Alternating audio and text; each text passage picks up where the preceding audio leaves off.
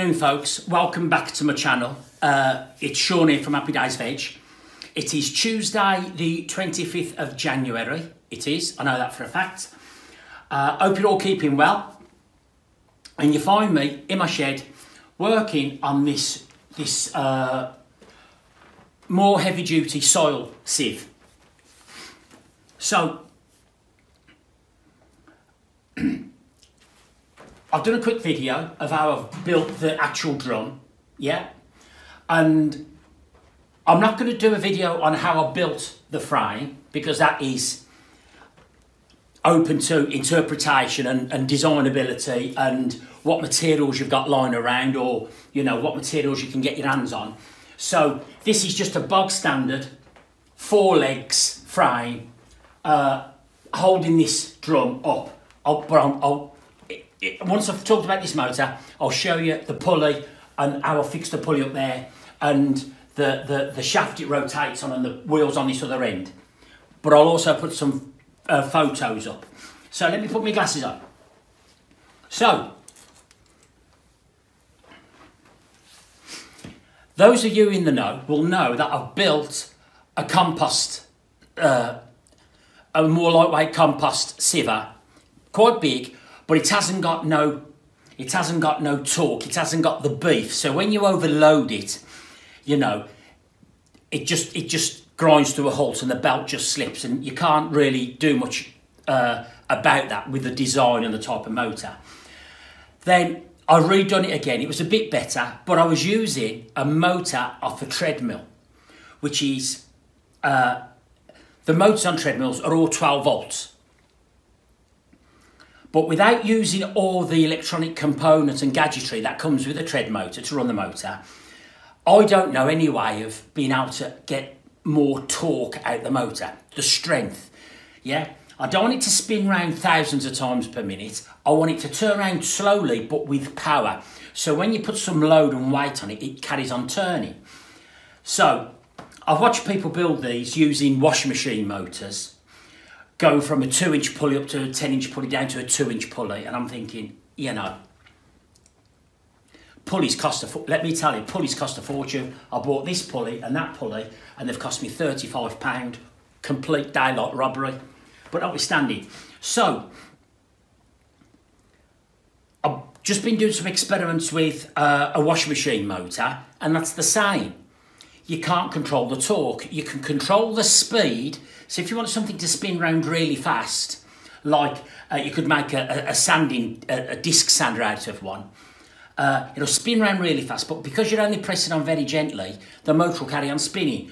Whereas if you put a lot of load on, all you do is you just slow it down and eventually it comes to a stop and then you just burn your motor out. So I've learnt my lesson there and I was looking online on a well-known internet auction site and I came across this bad boy.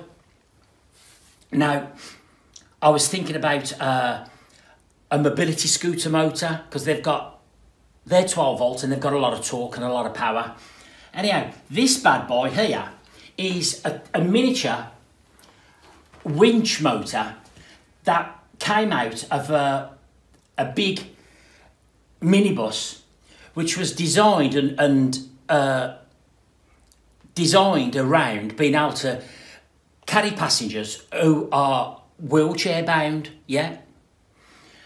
And basically, this little winch motor came with a different pulley on there with a, about 20 foot, 30 foot of rope with a special clip that you hook onto the front of your wheelchairs. You turn it on, and slowly but surely, it pulls the wheelchair with the person in it up the ramps into the back of the, the vehicle, uh, and then uh, then once you're on the vehicle, you're free to use your uh, wheelchair in its normal way.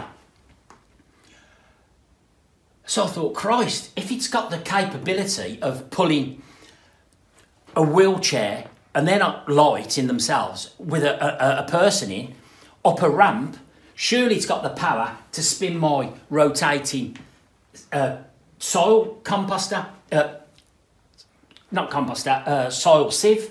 So, there was a starting bid. Oh, before us go into the cost, they cost a fortune. they cost a fortune. If you want to buy a mini winch, they cost a fortune. So, this was a starting bid at 38 English pounds plus nine pounds postage and packing to anywhere in the mainland UK. Because believe it or not, this is very, I was surprised at the size and I was surprised at the weight, it's very heavy. So I've done some experiments and here we are. And in my opinion, it is the perfect, for what I need, it's the perfect answer to my problems, to my prayers. So,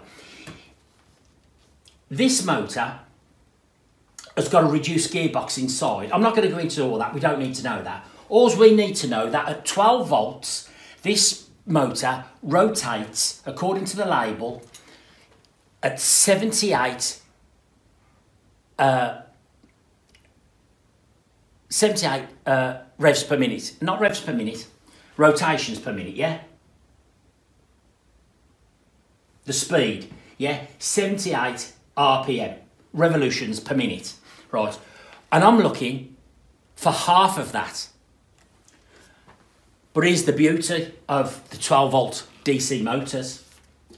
I'm not saying you can't do it with other motors, but it's easier on the 12 volt DC. If you buy and here's one there. Yeah, I don't know if you can see all that. A 12 volt speed controller. It's got an on and off switch and a speed controller. So you can adjust the speed. So you adjust the voltage and if you reduce the voltage, it'll run at a lower speed. Perfect. So at the moment, I've got it connected up to a, a leisure, a big leisure battery. You can't see it's just out of out of shot here, right? And your 12 volts come in to the 12 volt live and neutral on there, yeah. And it doesn't matter which way around you go, right? Oh, actually, I'm a liar. On this, it does. It doesn't matter on the motor. If you put live and neutral onto them connections, it'll spin one way. If you disconnect it and turn the wires back the other way, it will rotate the opposite way. So, sorry, I was wrong there. It is important. The red's the live, the black's the neutral. So you put your live and neutral from your 12 volt battery into there. Coming out, it goes into a switch, which has got an, a rocker switch, which is off in the middle. And it's got one and two, so you can turn it both ways, and I'll demonstrate that in a second. And then you've got two cables that come out, blue and green. They can go any way round onto your motor. It doesn't make no difference. So, before we before we before I demonstrate it, because this machine's not finished, you've got to have some kind of capability of tensioning your drive belt. This is a V puller, yeah? This is a, a C20 AX60, 13 mil by 13 mil by 1560. Can't remember what that is in, in, in, in, in old money. So what I've done is I've built a wooden bracket. So I bolted the motor to the back of there with four bolts because it's got four threaded holes in. I put some bog standard butt hinges there on a frame. So now that motor has got a couple of inches, well I say a couple of inches, I've done it so it's only got about an inch movement because this is set up. In the sides, and I'll, I'll, I'll put some pictures of this, I've got a piece of threaded rod with nuts and bolts so you can adjust it forwards and backwards on the hinges which will tension or loosen the belt. So I've got it set up. I've got about an inch deflection on the belt which is perfect. Yeah? That's that. Right, before we go any further, you know the rules. No tea, no work. Hey, you notice as well I've had my haircut? So, up here, if you look at the other pictures that I posted in my last video, you'll notice that I put a round of heavy duty plastic bolted onto the end of there with a 25mm hole in and basically what I've done, I bought this 6 inch this 6 inch pulley I've put it over the shaft and I've just bolted it straight through so the pulley is bolted through the space of plastic and the lid of the drum and the lid of the drum is being held on by this airtight rock solid clip here. So all that's removable, yeah? admittedly I've got to cut this off, but that's a job I'm going to do later because I haven't finished it yet. I just wanted to demonstrate this workings of the motor. So, I know it works because I've tested it because I had to adjust the belt. So, the power is onto the box. And as I say, there you've got a, a switch, a rocker switch. In, in the middle position, the machine's off, yeah? So let me just turn that down. So let me just turn that on. Nothing will happen because it's waiting to put the electricity, the 12 volts, through this little speed controller potentiometer. So if I turn this clockwise, it's got a little arrow on. If I turn this clockwise, hopefully this should start moving. Yeah?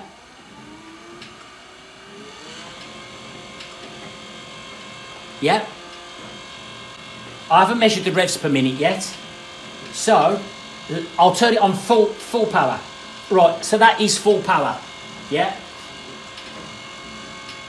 Now, I, let me just let me just turn it off because I don't want to waste my battery. The quicker you have your drum rotating, the quicker the material is going to shoot down and shoot out to the uh, exit holes at the bottom, yeah?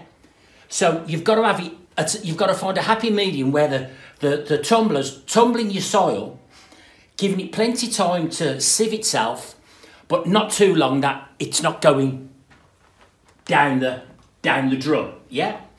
So they reckon 30 revolutions per minute. So that's there.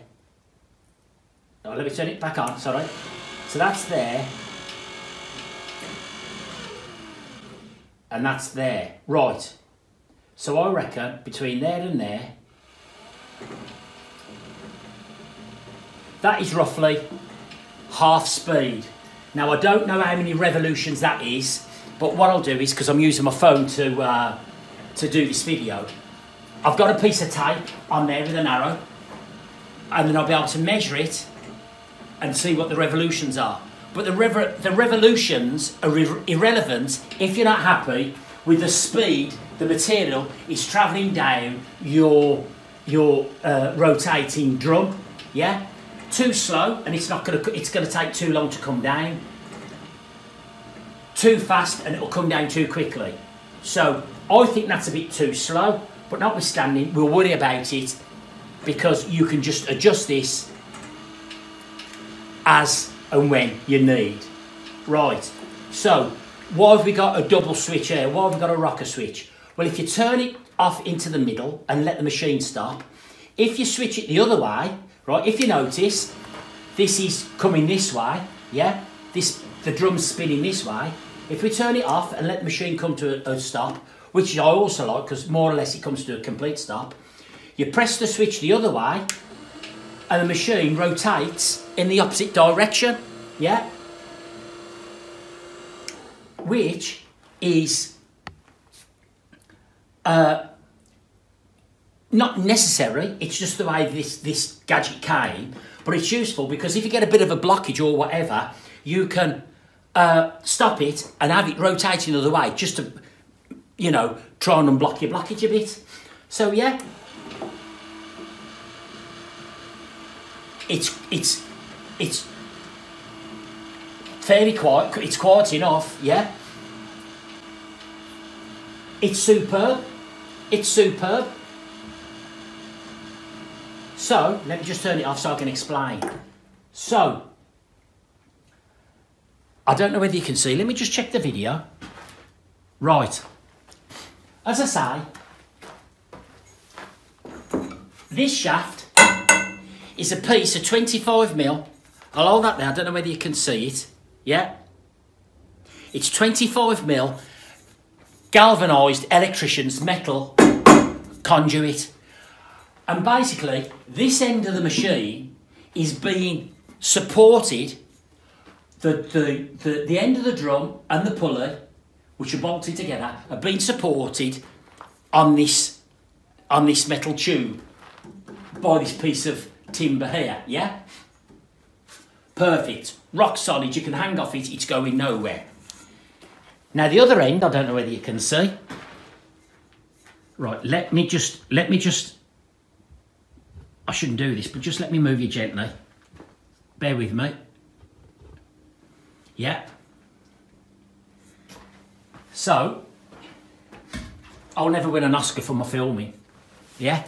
If you look there, you'll see that that is one of the rubberized wheels that I have filed down. And you, if you look at the other, the, the first video of this build, part one, you'll see how I've filed that down. That's a solid rubber wheel, and I've just put a big nut and bolt through it. I put it in the bottom of my, uh, I put it in the chuck of my pedestal drill, and then as it's spinning around, I just fold it off to the right shape, so that wheel fits in that grooved V-shaped lip at the top of the barrel there, yeah? Because everything is going in that way, and at the moment this is flat, but when this ends on wheels, it's going to be, I'm going to put two, two of these wheels on the end, it's going to be slightly higher to give you a bit of a slope. So those wheels are stopping the machine travelling down that way, yeah? They're just sitting there, the weight, the weight is holding it on, yeah? I've adjusted it with lock, nylon locking wash, uh, nuts and washers, so they just move just enough. Give a quick squirt of grease, and it's perfect. Uh, squirt of oil, it's perfect. I've got one there, and I've got one there. Yeah. Now the shaft, you can see that. I think you can see the shaft. The shaft is coming through there at the moment. I've got to push that shaft all the way back until it stops on there, and then cut that end off. Yeah. The reason I put that shaft through there was because I contemplated having this end, so the, the shaft being supported this end, and then in the end I thought to myself, no, it'll just be in the way of shoveling your soiling. So that shaft's going to be out the way, so you've got the complete opening. So that's that. What else do I know? Let me bring you back. Obviously, we're, uh, we're on the workbench. So, just let me adjust this camera now. Sorry about this. Terrible uh, so, so I'll give you, I'll just give you one la little last demonstration of what it looks like. As I say, you can adjust the speed, yeah, with this little potentiometer, it's a little speed dial. That's maximum, that's too fast. You just turn it down and adjust it to suit your needs it's got a, an on and off switch there, and it's also got a reverse switch so the machine can go backwards. Yeah.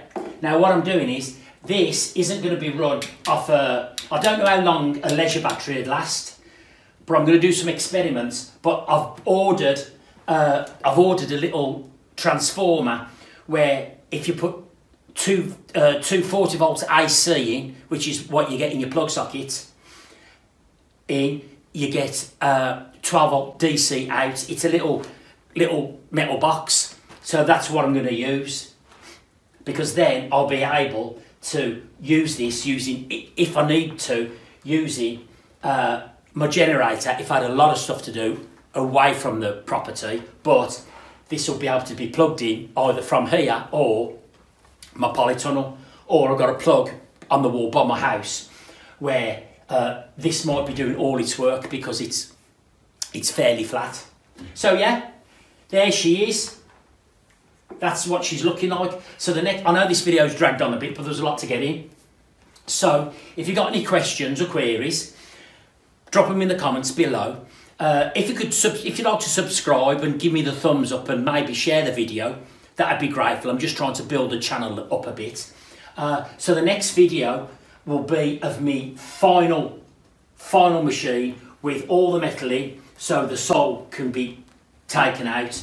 Uh, I might give it a coat of some kind of protection and then I'm going to decide uh, whether I'm going to cut the tops of these timbers off.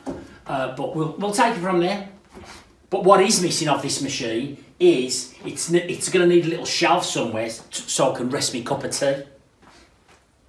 So until then, you take care. Hope you like this video. And I'll see you guys further down the track. Happy days.